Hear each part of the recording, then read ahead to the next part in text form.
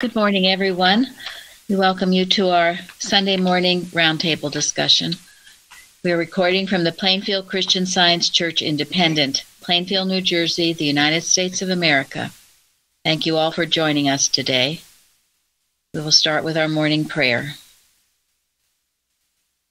I'm reading from pages 154 and 155, just excerpts from Mary Baker Eddy's letter to the First Church of Christ Scientist in Lawrence. He said, It is the purpose of divine love to resurrect the understanding and the kingdom of God, the reign of harmony already within us. The pride of circumstance or power is the prince of this world that has nothing in Christ. All power and happiness are spiritual and proceed from goodness. Sacrifice self to bless one another, even as God has blessed you. Forget self in laboring for mankind. Then will you woo the weary wanderer to your door, win the pilgrim and stranger to your church, and find access to the heart of humanity. While pressing meekly on be faithful, be valiant in the Christian's warfare, and peace will crown your joy. Mary Baker Eddy.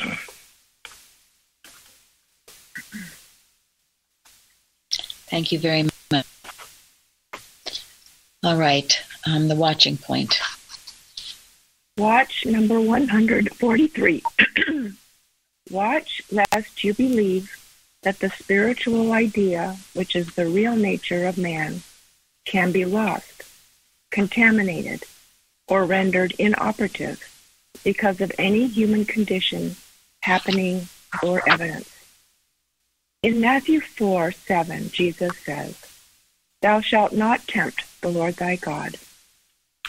If the Lord is God transformed into idea or man, then our task is to realize that this Christ nature in ourselves or others cannot be lost, that it cannot be defiled or even tempted by any earthly suggestions or conditions. When you are tempted to feel sick or to sin, you can realize that man's real nature is superior to such phases of the dream of mortality. Once a woman had an internal displacement she was a Christian scientist, but she was greatly tempted to submit to an operation because it seemed the only way to get relief. She started for her practitioner's office in order to tell her what she planned to do. But on the way, she became so grateful for Christian science that she determined to live to live up to its teachings to the best of her ability even if she were never healed of the physical disorder. That's from a Christian Science Sentinel, August 15th, 1931. This lady experienced her healing right then and there. Her declaration was really a determination to defend her recognition of the fact that she was a spiritual idea and reflected God against being belittled or interfered with by any false testimony or human suggestion. Do not tempt the Lord thy God. Do not believe that man's spiritual selfhood, which is the expression of God's being, is susceptible to being tempted. Thank you. Comments on that?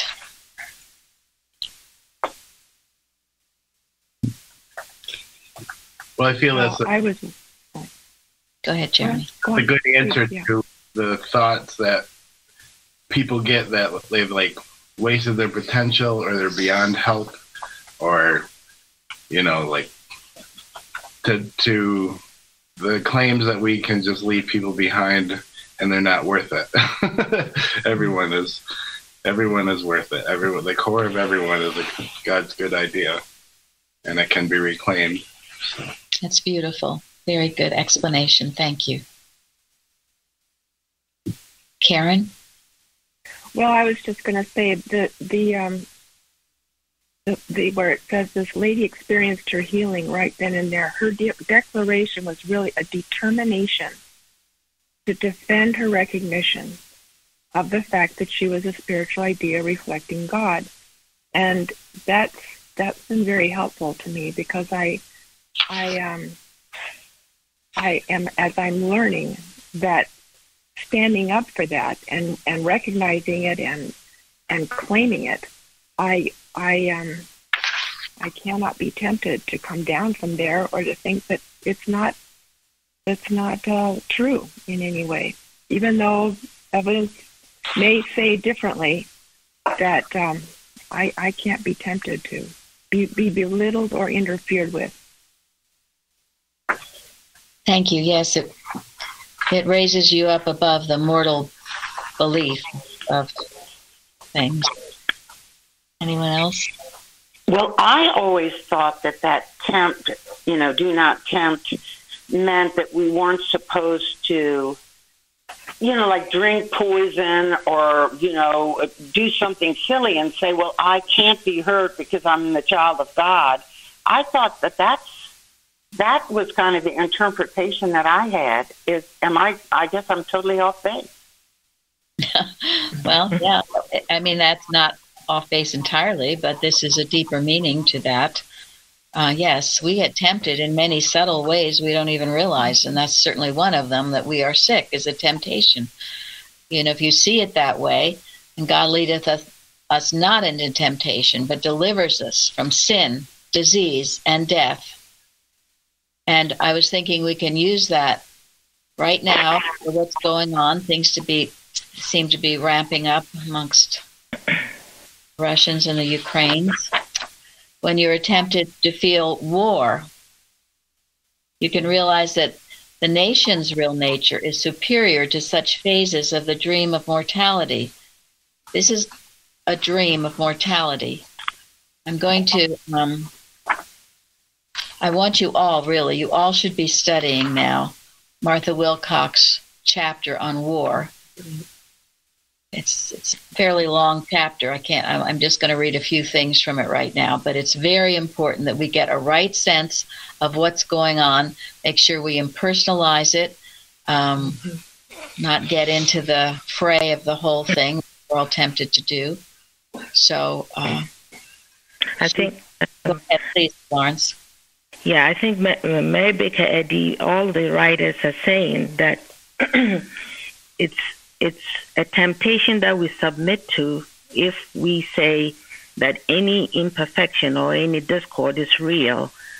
In in other words, if we have maintained the Christ mind, we have to know also that that the Christ mind cannot be mesmerized. It cannot be done, and that's what you're saying. That always to focus on God as all Therefore, we are not mesmerized. We cannot be mesmerized by what mortal sense is saying. And therefore, we stay true to the truth of God's allness and, and not submit to the errors that come. Thank you very much. That's it. You know, that um, watch or prayer we have at the end of all our watches, right? Mrs. Eddy says the one most important watch to know that what men and, and nations, governments cannot be hypnotized. That's what it always is. It's what it is. So we must stay dehypnotized. It's just like we've talked about when there are these horrible, so called horrible storms going on, and the news is 24 7 about them. Well, now you turn on the television, it's 24 7 about this. I don't know how helpful that is. I don't think it's helpful at all. So we need to know what's going on, yes, but we don't need to spend all our time looking at it and thinking and getting mesmerized or frightened or whatever else. We certainly don't need to believe that there is such a thing as an evil person or an evil nation yeah. or an evil anything. Thank you. Thank you and also that it's not going on out there somewhere. There is really here. So here is the only place where we can meet it, is right here. And that's been um, something that I've been learning as I try to project my thought to there to where the situation. No, no, no. That in fact, there has the word here in it. So I thought, here really is. it's really all here. Yes. There's no there. That's it. It's in our consciousness. What are we seeing and accepting to be true? And we have to hold this line. Um, Otherwise, our prayers are not useful. They they're not useful. You can't be praying for one side or the other side. You know, it's so easy to get into that. Martha Wilcox says, War, according to the revelation of Christian science, is mortal mind or animal magnetism. And mortal mind or animal magnetism stands for all evil of whatever name or nature. It is the belief of life, substance, and intelligence in matter, the belief of minds many and powers many. And the more we as Christian scientists accept the suggestion that war is going on as a fact, the more we strengthen and perpetuate the belief of life in matter and the belief of minds many, and the more we are governed by mortal mind or animal magnetism instead of by the reality of being. She goes on to say what sort of what Florence was saying, you know, animal magnetism can be in any form.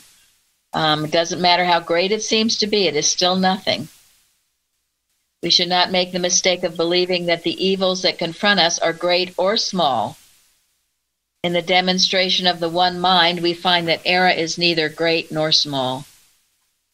Our textbook teaches us that all eras are illusions. And what is an illusion? An illusion is an unreal appearance. And this, you know, she's talking about World War II in this, but we certainly apply it to this, any situation. She says this so called war is purely the result of a universal mass mesmerism, an obsession. The so called mortal mind's obsession that an increase of material good can be only had only by external or extraneous additions of good. In other words, the expansion of so called human good is by accretion rather than by the unfoldment of spiritual ideas from within. And then this is what I love. I've written articles on it, but but in Christian science, we understand that God made man and gave him presence and certainty and position. And man does not desire to get from somebody or from some other nation, but draws from infinity. I love that. It's true about you, it's true about everybody. All this competition and wanting what others have. I don't have the time even know what's behind these so called things. I don't think any of us know because there's so much that goes on we don't know. So we just stick to the truth with a capital T. and anyway, that whole chapter we, we should all be studying it and working with the ideas in, in there. And yes, it's within ourselves. we must meet it there and find our peace. And in meeting it there for our own selves, we meet it for everyone everywhere, and we can declare that. and then this is also something very interesting from first edition that we listened to yesterday. It's on page 107 of first edition. I'll have Gary read it. An evil and artful mind is all the Satan there is. And this is the fallen angel, or abused capacity. Such a mind learning its control over other minds will take the reins into its teeth. And truth alone must take them out and guide it.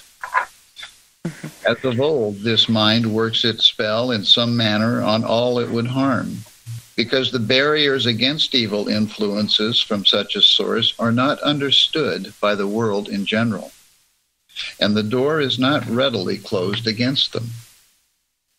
To this end, metaphysics are important. Study mind more and matter less for we must find refuge in soul to escape the error of the latter days. And mediumship and mesmerism, more than all else, contribute to a terrible future development of discord.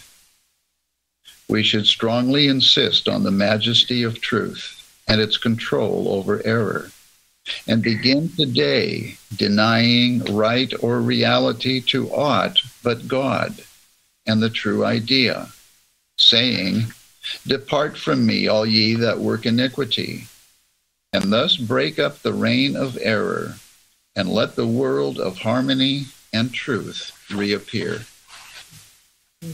That gets to more of the nitty gritty of the whole thing, by which we must not be ignorant to. So I, I love it where Mrs. Eddy just shows it what tells us what it is.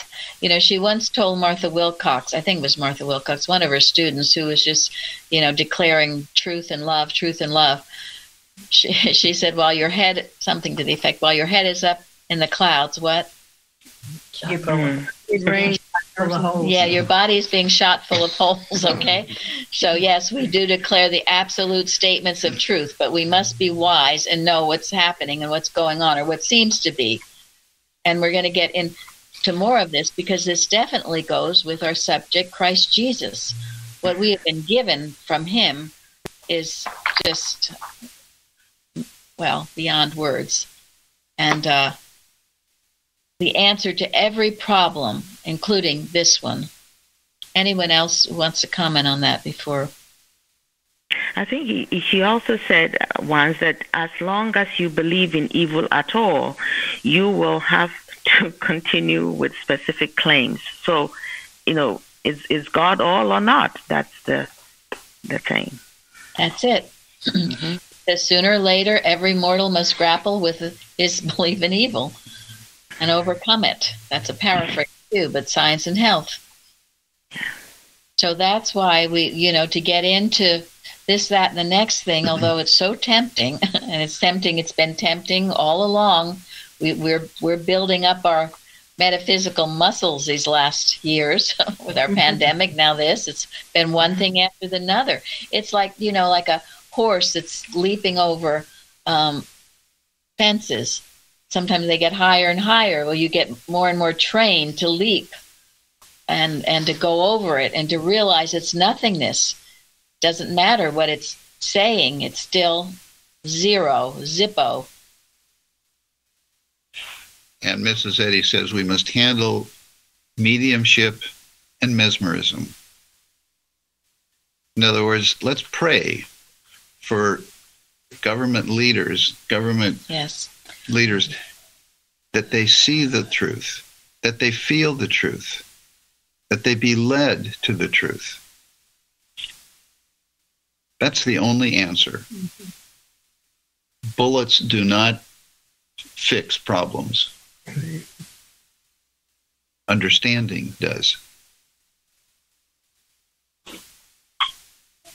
And we have Christian science, so we are the example to the world of applying understanding to every situation that comes to our doorstep. And with the internet and news and all that stuff, everything around the world comes to our doorstep it quickly. Sure, it sure does, yes. So, thank you. I was reading um, Malpractice How Does It Operate by Martha Wilcox. And there's just a few sentences I'd like to share, if I may. The the um, explanation of evil is none other than overcoming it. There was never a moment when evil was real, and there never will be such a moment. Can you explain where 2 plus 2 equals 5 comes from? You can only explain something which is true. Use the truth continuously, not just occasionally. And so I think that's what we are all doing right now. That was very helpful to me. Yeah, thank, thank you. you. There's another, Bicknell Young's aggressive mental suggestion is also excellent. It's in his collected writings. Um, we have so much, Mm-hmm. so much unauthorized literature that please do not read or you'll be excommunicated. please oh don't defend yourself. yeah, right, right. Please, please remain ignorant at all costs. oh my. Well, thank God we have all this wonderful stuff, and I thank I thank God for Christ Jesus, Mary Baker Eddy, and all those early workers who have given us just an incredible amount to be working with now. And they stand with us now. You can feel it. Can feel that standing with us. Come on, guys. We can do it. Come on. Come on. Stay with the truth. We got to overcome this. And we can, and we are, and we, we will. Um, before I get into anything more, uh, some of you have asked about Benjamin and his family, Carissa, his wife, whose family's from the Philippines, and many of you have very generously have given. Um, and we thank you all so much. And that little family is so grateful. Carissa and their family never, ever expected anything like this. And so I asked, because people have said, well, how are they doing? And he thanks us for asking. And he said they are recovering very well, thanks to all the love coming from the Plainfield Christian Science Church members. They are still in the process of fixing their homes and farms that were ruined. Chris's mom just went to the other island where family members were also affected. I was told they received help from some of the money the church sent as well. So we thank you. We thank you so much. They are extremely grateful. And Gary will read that at the service too, so people have an update.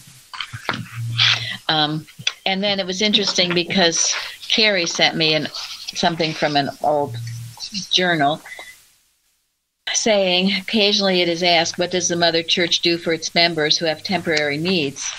And in the Christian Science Sentinel, January 26, 1935, there was a description of some of the local work of the Almoner of the Mother Church, the charity fund of the Mother Church, which was instituted, instituted in 1908. Did anyone know about that? No. is contributed by the Boston congregation of the church through special collections taken at intervals, but perhaps twice a year, and through individual gifts. I never knew that. Mm. The president precedent president for taking these collections was established many years ago with Mrs. Eddy's approval. The purpose of the fund is to take care of the needy local members and needy pupils in the Sunday school of the Mother Church. And then it goes on about many branch churches follow this. Now, for as long as I know, our church, as far as I know, when it became independent, we have done this. We have looked out for people in the community. Sometimes we get letters from other churches asking. We don't give a huge amount, but you know, hundred dollars here or there. Or sometimes we have clothing uh, collections. People bring clothing that we've given to people in the community.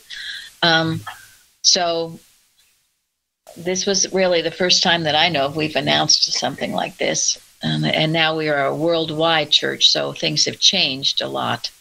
And we certainly expect all of you individually to give to your own charities and your own local communities as you've as God directs you to do.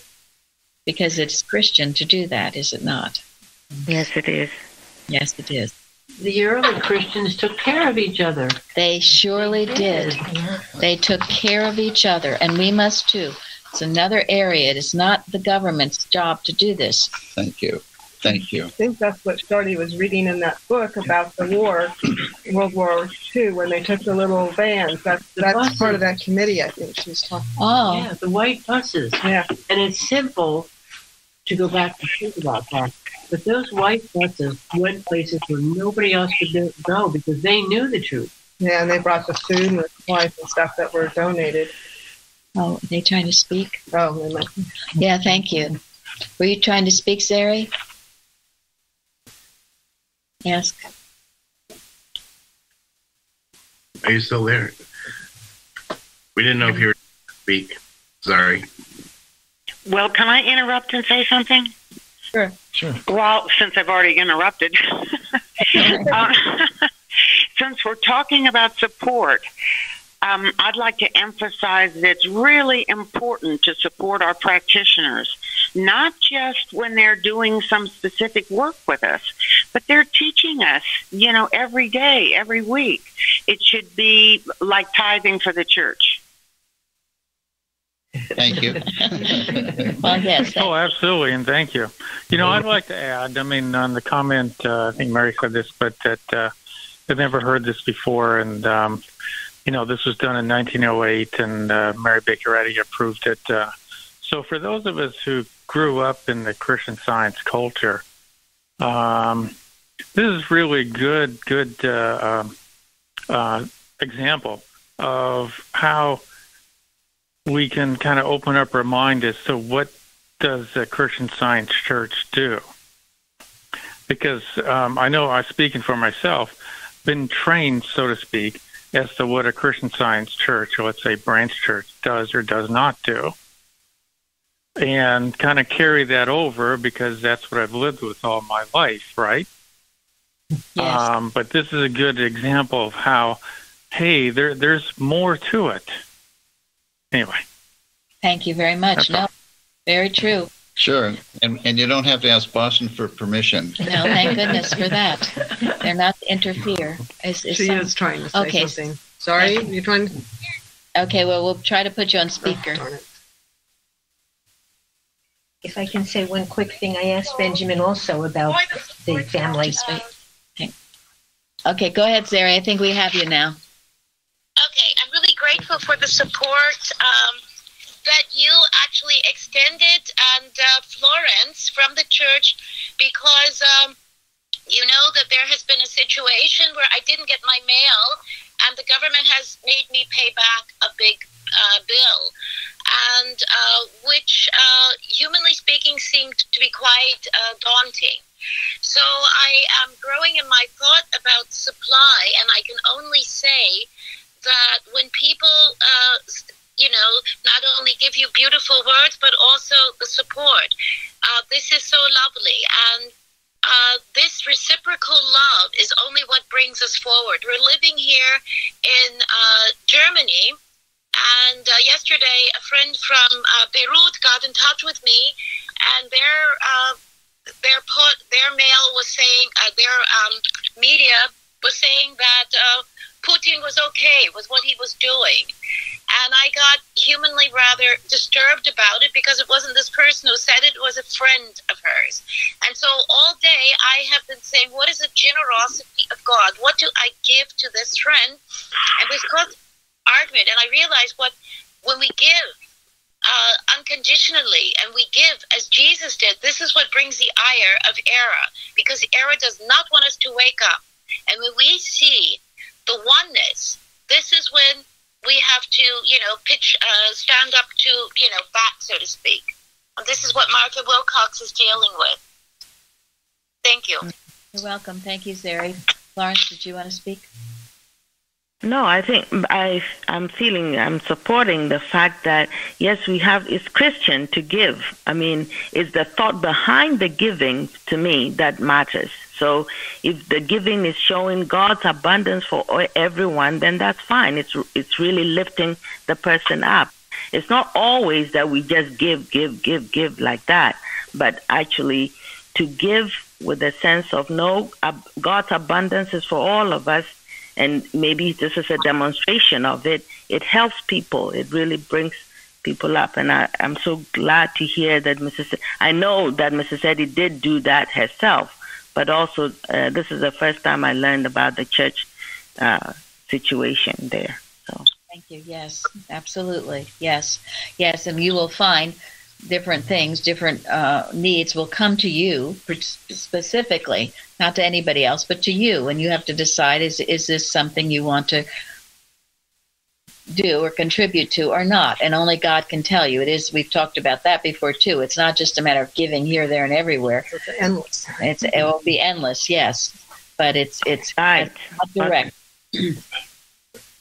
Yeah, and Jesus was the example for this because he, he didn't heal everybody, you know. That's right. There were some people who who weren't ready. And he also said, don't cast your pearls before swine. Which Yeah. means don't waste what God has given you on people who aren't going to appreciate it. Also, I think what is your motive for doing this? Is it to bless? Is the is the question. And I have friends who very freely tell me, "Oh, I've done this to given this to this charity. I've given that to that charity." Well, what is the motive behind that? And how good is it going to be for that charity if it isn't given through the Christ truth? Yes, the motive is always important, and the motive should always be is it God directed. Yeah. That's the only way. It is it does God want you to do it or not? Because only He knows. And if you are feeling that oneness with Him, you will know the need to, and you will know what you need to do. That's the only way. That's the only ultimate motive. As we a few weeks ago we talked about this. Mrs. Eddy did not want to be known as a good person because she knew only the one is good. Only God is good. That's as Christ Jesus declared as well. So, yes, it's a matter of what God is telling you to do, and when you feel that oneness with the Father, you will know when when to give and perhaps when not to. So, And that's different from humanly wanting to bless. Because a lot of people get stuck there. Or humanly wanting credit for having. Well, exactly. yeah, yeah, your name, your name on a building or in a magazine or or something or something. Right? or something. So, Did Carol have some? oh yeah, Yeah. Carol, I'm sorry. Oh, yeah, I said that um, when, when I asked Benjamin about how his Oh, family was doing as well, he said that uh, they not only lost their homes, they lost their livelihood. He said they're farmers. Yeah. And he said they their, their fields, the crops had just started coming in. They lost all of that. And he said that they have animals that help them with their farming. And he said they lost them as well. Yes. So th- this really was a good need, and this is blessing them immensely. Yes, yes, and I, I know they'll never forget what's done. And Carissa, I mean, that she's not, she's learning about Christian science and to become a Christian scientist, but this is knowing us by our deeds, not our words. So, and yes, thank you. All right, our subject, Christ Jesus. Lillian, the golden text. Verily, verily, I say unto you, before Abraham was, I am Christ Jesus. Thank you. And Louise on the forum wrote some beautiful things about, you know, the dec- declarations of I am. I won't read them all because you can read them. And they'll be in, I'm sure, in the highlights when they come out. And uh, I know Florence has spoken to it many times. What about it, Florence, about I am? what are you declaring? I- you know, it's I am only what God is, right? And God has always been. That's why the I am before Abraham was I am is something we we must all have learned to know what I am. What is it that I am? I am only what God is. Mrs. Eddy tells us in so many different ways. We are the manifestation, the the reflection, all these in the witness, the representation, all of them. So this I am is big. I think there is there. I read it says that the law is that I am, and that is what we need all of us to learn. Why? What is the I am that we are, and that helps me a lot in everything.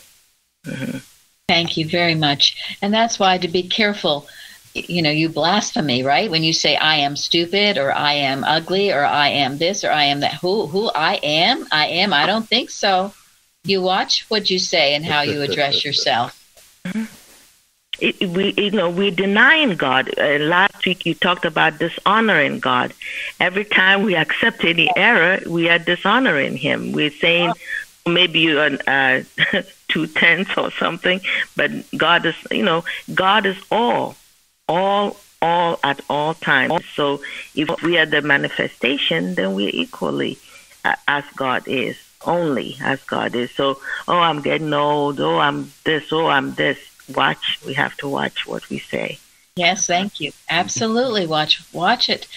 That Peter V. Ross, you're always talking to yourself. Make sure you're saying good things to Make sure you're yourself. saying Not, the truth about yourself. yeah, not tearing yourself down or others. Not abusing your capacity like that thing Yeah. from first edition. Oh, right. Mm. Yes, thank you. Don't want to malign it. No, Not at all. exactly. Yeah. So I am, you know, Yeah. I am I am intelligent because God is my mind. I am healthy because God is good. There can't be anything else. I am Hello? honest because God is principle. Go ahead. Is that Ingrid? Yes. Yes, hi.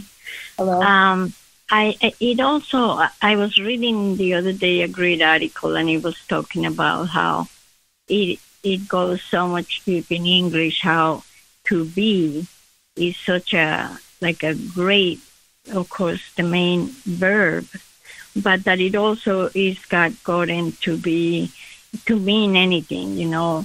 Uh, it was saying even uh, uh, saying I am an engineer. We are already putting something different there, you know, and or, or a lot of other things, and that the the only thing that we can really honor the to be or the I am is by saying I am a child of God. That Thank- anything else we are already diminishing who we are. Thank you. I, Yep. I just love that idea. Excellent. Thank you, Ingrid. That's so so good. It- because you never want to limit yourself. Mm-hmm. No. Mm-hmm. Or or or the you know all the human thing that goes with or or false belief or false responsibility that goes with I am a mom, I am a dad, I am a mm-hmm. husband and a wife, all of that. Yeah, thank to you. be careful. You know, we're not going to deny that in this human sense of life, but to be careful with with it when we say you know, and the only true, absolute truth is I am a child of God. Hmm. I think it's the faith in that that helps people who can't, you know, read. I I always say this. I say it because I I'm seeing that is the faith that they have in this. When you're told that you are God's image and likeness, and you just latch on to that, that's all. Then that's all you can be, which makes all the other things, you know, nothing really, because God is all. And I feel that is the faith in that that makes them healed. Th- Thank you. And when someone has faith in that, it makes them want to learn more about who and what God is, right? Mm-hmm. Because Yeah. when you learn who and what God is, you begin to learn who you are. And then everything starts to come together. But you're right, that's it has to start there. Craig? And like Gary said, that is if you want to manipulate somebody, the worst the, the thing that you do is just you tell them that they can't do it. You know, Yeah. and to start with, and that's no good. And Christian Science is the he says it's like an open door. The uh, the- as you spiritual idea, the Holy Ghost, and the Christ, all those allowing you to be that expression. And so once anyone realizes that it's not them, but it's God that's working, they're just they're free to be all that God made. And and it's wonderful. It's Beautiful. Thank, Thank you, you. Craig. That is so true. That you know, they tell you you you they that voice. If it's not the voice in your head, it's your somebody else telling you you're stupid, you can't do it, and to try to get you to prevent you from doing it for usually very sinister and selfish reasons. And what is that thing about manipulate and Oh, manipulate, dominate, and intimidate is the definition of witchcraft. Yes, witchcraft, definition of witchcraft. And see, this is why you get this truth out because once the, the people know what's true about them, they will rebel. And many people have, um, maybe not even ever even reading a Bible, but they will, will rebel at the fact that people are calling them those names, whoever it is. Some people just sit meekly and take it, but much better to rebel against it, rise in rebellion against it, and find out who you truly are. Thank you, Craig. Very important. Don't let anyone ever, what was that? Nobody puts baby in the corner.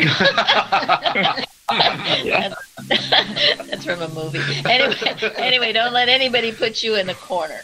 So, no way. And then in that, also in that forum post, Ron mentions, and, and this was sort of the theme of the lesson that um, before Abraham was I am, and that's Christ Jesus talking, the Christ talking. So it's always been with us, and by time really has no relevance anyway, because it, we're always in the eternal present now, always, and we're always being faced with certain things to challenge us. to realize it's nothingness. They come in different faces, different experiences, but all the same error. And we've got to be like those horses, jump over the fence.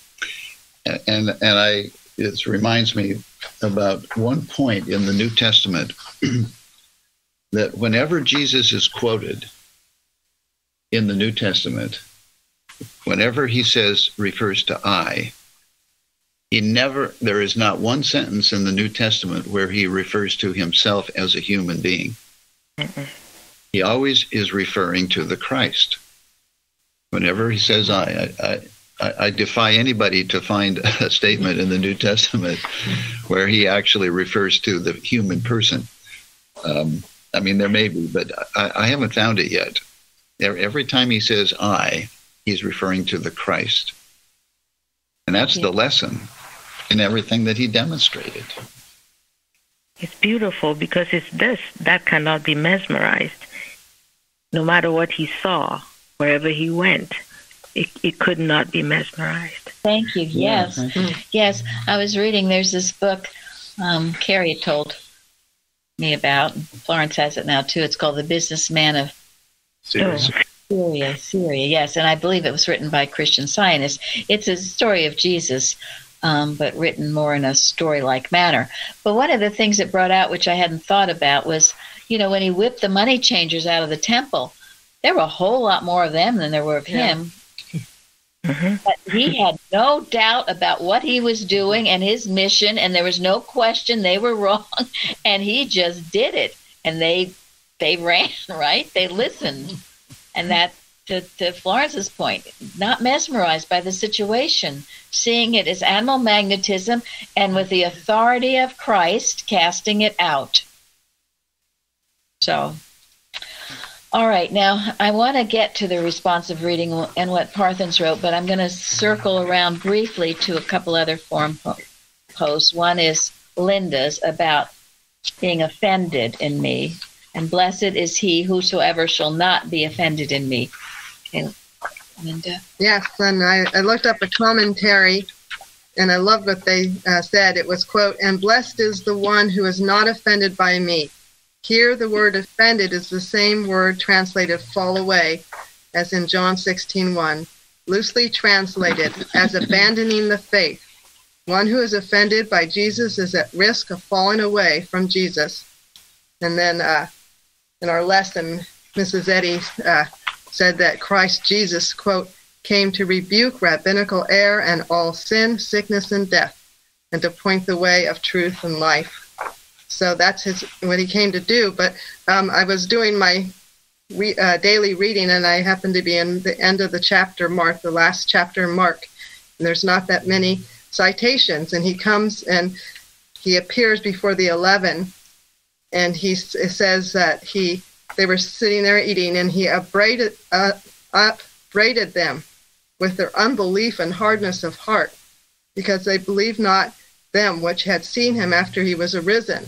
Then you go down five more verses. And so then, after the Lord had spoken unto them, he was received up into heaven and sat at the right hand of God. It just really made me think because he didn't come and say, "Oh, guys, I really, you know, you can do it, and let's, you know, I just love you, and I'm going to miss you, and I'm going to go, and it, it, all's wonderful." he just woo, ripped right through there, told them they were hard, you know, just woo, and then, then you know, and then he gave them, told them to go heal and spread the and preach to the world and to every creature. And I just thought that was really beautiful because if anyone who has experienced a correction or rebuke, they realize how it invigorates and clears your thought and gets you ready for work and energizes you. And that was what they needed because they were up against a lot of opposition when he. Thank so. you, thank you, and and I loved Jasmine. She wrote some uh, definitions too. To hit, Mm. thrust, or strike Uh-huh. against, offend. That was early 14th century. Um, and then to disobey or to sin against. Excuse me. The first was Latin. To hit, thrust, or strike against. By early 14th century, to disobey, to disobey or sin against, and then rebuke. Old French by 15th century, a reproof for a fault or wrong, a direct reprimand, and then modern usage, a verbal smackdown. that was great. So, and I'm I'm very grateful because last last week I had to kind of rake the coals and go over things because lack of testifying, lack of people putting God first in their uh, doing work for God, whether it was writing lessons or other things. And I, I got two really beautiful emails, full plated apologies. And better than even the apology was the healing that followed. They're accepting the rebuke. One of them had a friend who was listening to it, and it began to change her life. Another one, um, w- had just been healed by doing this work for God. It heals, it's healing. It must be treated with the greatest regard and respect. Um, it's a privilege to do this work, anyone who does it.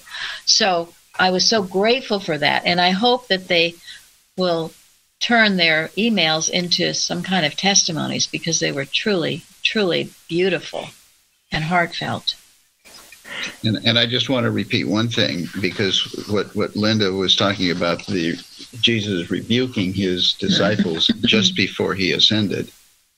He never personalized anything. He never spoke to a person whenever he whatever he said. He was addressing thought, a state of thought.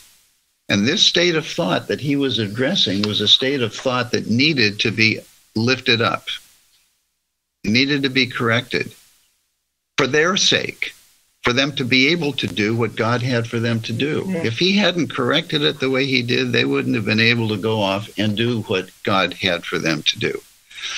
So when when we or anybody rebukes, it's the rebuke of a state of thought. Yes. And and the whole point of it is to heal and to uplift. And if you take it, you will be blessed beyond measure. And if someone in your presence need it, needs it, then give it for their sake. Never be afraid to rebuke a state of thought that is an offense to God. And that's all I'm going to say about that. Thank you. Yes. Thank you so much for bringing that point. Uh, it's been so great to know uh, what Christian Science teaches about that when uh, Science and Health says error is not person, place, or thing. Wow. That yes. goes so well with the great point you got. Thank you so much. Yes. Um, it is, and, and there's just great blessing in doing it. So, so, and also, just quickly, I lost Jeremy now. We're coming to the end, and there's still a lot more I have to say about the transfiguration, which is so beautiful. Um, Jeremy did write about that, but also uh, Carrie sent me a beautiful article about it as well. The Mountain Experience by Carrie Maynard in an old journal, 1914. but one she one thing she brings out, which I hadn't really noticed, that was it's in the lesson. As he prayed, the fashion of his countenance was altered. And just the purifying, rarefying what, what prayer does for you, you know, uh, and, and you know when you see a person who's in that prayerful state, their faces shine, don't they? Whoever it is, their faces shine. And um, his face really shone because of the state of thought he was in. I think I've told this before, but I'll I'll never forget at the reading room once when we, we, Mrs. Evans was accused of teaching class, but we were in there praying and working and watching, mm-hmm. and we were all once doing a watch for the city of Plainfield, I think, and we were all praying. And I happened to open up my eyes during it and was looking around. And most everybody, their faces were all scrunched up and, you know, they were all really grinding away. But Mrs. Evans had this most beatific look on her face, which really made an impression on me because isn't that how it should be? Um, you know, she, she you could just tell she was communing with the Father. So I just think that's beautiful. Um, as he prayed, the fashion of his countenance was altered. And, and and did did his look actually change? Did anything about him actually change? No. No his state of thought was so uplifted that it affected everybody who saw him. Yes, yes. And we should we should remember that when our state of thought is uplifted to God, it's going to change everybody around us. Except, but Peter and they that were with him were heavy with sleep. Now, how did that happen? how did that happen? Well, that's you know animal magnetism. When the when the Christ is being taught, it can sometimes do that to some people, put them to sleep. So now the responsive reading, which which Parthen spoke to, which is about the Word, and the Word was with God, and the Word was God Logos, and to examine yourselves, whether ye be in the faith, prove your own selves. Um, he, he just goes into the great importance of living this truth, seeking it with your whole heart, the Word of God. Because if you are, if you're doing this, he, he goes into today, humankind is bombarded with commands and mandates, especially from the world of medicine fear instilling demands that are falsely given exaggerated life or death significance, when in reality they have no significance whatsoever, except to those too fearful to stand upright, in whom the promises of God do not abide. Wow. Yep. So when you're grounded in the Word, this other stuff, as we've talked about, you will not be mesmerized. When you're grounded in the word of Christ, in Christ, you will not be mesmerized by what everyone else is talking about and saying, whether it is war or pandemic or whatever else. It was an extremely important point that he gets into, um, and one we must take to heart, and we must seek the word, he said, with our whole heart, mind, and soul. All right, now we will end with something that was on the carousel. And this is the article entitled, Unto Us a Child is Born from Essays and Other Footprints by Mary Baker Eddy. The existence of Jesus was identical with truth and the life that is God. He demonstrated spirit free from matter and the divine soul, the substance of man, and body, but its accompanying shadow. He knew that even as good and evil are opposites, so are the spiritual and material sense of things opposites. To understand this great fact in metaphysics, it is necessary to be born again, born of the Spirit and not of the flesh. And this was the birth referred to in those words of the prophet Isaiah quote, For unto us a child is born, and the government shall be upon his shoulder, and his name shall be called Wonderful. End quote. Great epochs begin with the birth of new ideas, the development of an unseen principle, unseen only to the material senses. When we enlarge our idea of God, it becomes more divine and less human. And this more spiritual conception of being has birth in higher individuality. The most notable period of the ages was that when a Galilean peasant uttered by the wayside and in humble homes to artless listeners, dull disciples, and to wondering ears his simple sense of truth, of how it healed the sick, saved the sinner, and robbed the grave of its victory. He trusted those words to the providence of God but in no fact seems the man of Galilee greater than his serene in his serene sense of the immortality of those words. Jesus said, Heaven and earth shall pass away, but my words shall not pass away. What a calm confidence was that was that in the superior permanence of mind over matter. Mary Baker Eddy. Thank you all so much for joining us today. Thank, Thank you. you. Thank you. Thank you.